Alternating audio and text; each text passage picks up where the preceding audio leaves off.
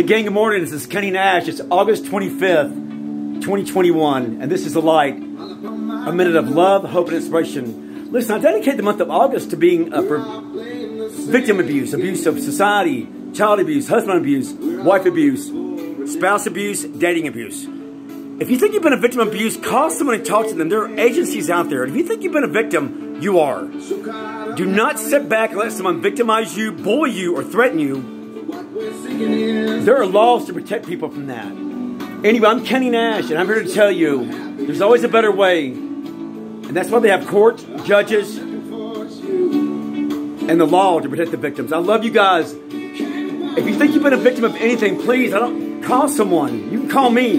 My number's out there. I'm Kenny Nash with AB Entertainment, and this is One Minute of the Light. Go out and love someone. I did. This is a show of love, hope, and inspiration. I love you all. Thank you. Have a great day.